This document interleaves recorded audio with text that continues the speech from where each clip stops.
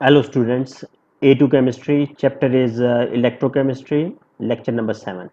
In this lecture we are going to study the last application of standard reduction potential and what is this last application? It is how to write down a cell diagram or how to write down cell notation for an electrochemical cell. Now what is cell diagram or cell notation? One thing remember cell diagram is something that is written.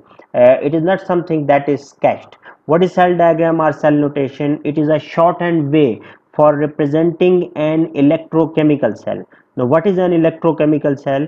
Electrochemical cell is any cell that can produce voltage uh, through a redox reaction. It is known as electrochemical cell.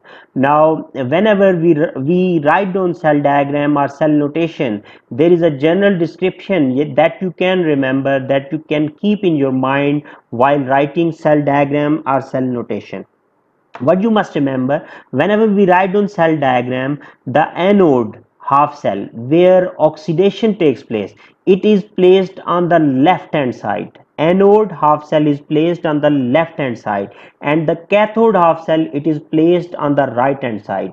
Uh, and both these half cells they are connected internally by using a salt bridge. How we denote salt bridge here? We draw double vertical line and that is an indication of the salt bridge. So you can see this is the cell diagram for any electrochemical cell anode salt bridge cathode. Now there are certain rules that you will have to keep in your mind while writing cell diagram for any electrochemical cell.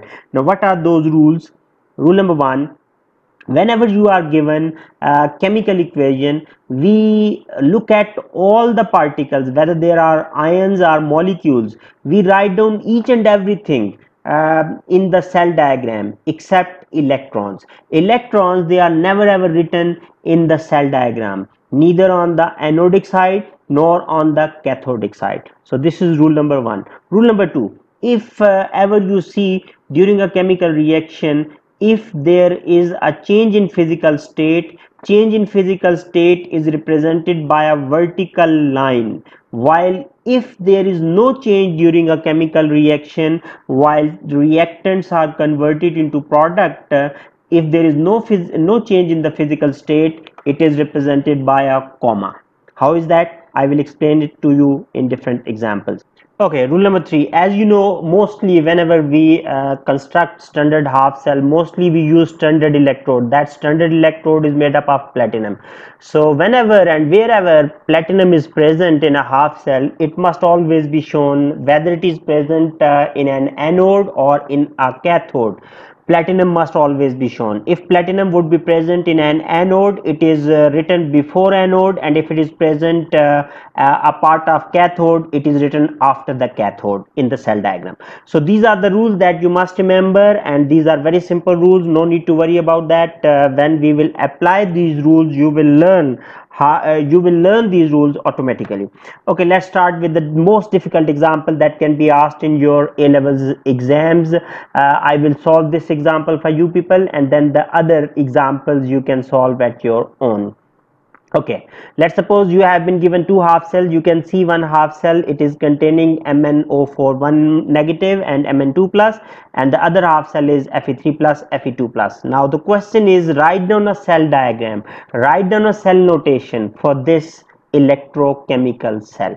Now what you must do you must look at the standard reduction potential of both these half cells and decide which half cell must become cathode and which half cell must become anode. What i told you the half cell whose standard reduction potential is more positive is greater mathematically that half cell must undergo reduction. Right now the half cell MnO4 one one negative it must undergo reduction it must become cathode because its reduction potential is more positive so uh, right now iron half cell it is the anode we will write down iron half cell on the left hand side and MnO4 half cell on the right hand side. Now how you will come to know how many and which particles, which ions, which molecules are present into the chemical equations, you can copy the, the um, chemical equations for these half cells from the data booklet. If you look at, I'm, I'm uh, telling you right now what are the chemical equations for these half cells? This is the equation for the half cell of MnO4 1 negative Mn2 plus and this is the equation for the half cell of Fe2 plus Fe3 plus. Okay now what you you can see that uh, MnO4 half cell it would become cathode and iron half cell will become anode. And you know anodic reaction it is always reversed. Reactants become products and products become reactants. So from where we will start? Iron half cell is the anode. We will start from fe2 plus. Fe2 plus will be oxidized to Fe3 plus. You can see both of these are ions and they are present in the solution form. So that is why there is no change in the physical state and when there is no change in the physical state we have placed a comma between these two ions. Now then we will place the salt bridge and the other half cell is MnO4 1 negative. MnO4 1 negative if you look at the chemical equation of this half cell except electron each and every substance we will have to write down so from where we will start since since this half cell is undergoing reduction it is cathode we will start from MnO4 1 negative plus 8 H ion and it would become after the reaction Mn2 plus plus 4 H2O if you look at the physical state MnO4 1 minus and Mn2 plus both are in the same physical state. That is why we are using a comma between these ions again one more thing we studied that whenever a solution contains same element in two different oxidation state then we, we will use platinum because uh, platinum can provide equal support to both ions to attain an equilibrium. So in both these half cells since we are having same element in two different oxidation state we will use platinum. So that is why platinum can be placed uh, before anode like this and after cathode like this so this is the most difficult example that can be asked in your A levels exams. So just understand this rest of the examples they would be quite obvious they would be quite simple for you people. Okay I'm giving you some example you can pause the video you can solve it. For example look at this example. Uh, construct the uh, write down the cell diagram for this uh, electrochemical cell. Uh, one half cell is of chlorine and other half cell is iron. Okay students if you have written the cell diagram you can check it. In this case which half cell will be anode? Iron half cell because its standard reduction potential is mathematically lesser.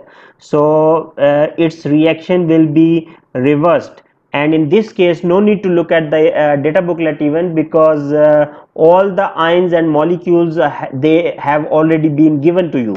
So uh, anodic uh, half cell its uh, reaction will be reversed. So we will start from fe2 plus and after the reaction it will become fe3 plus. No change in the physical state so we are using comma.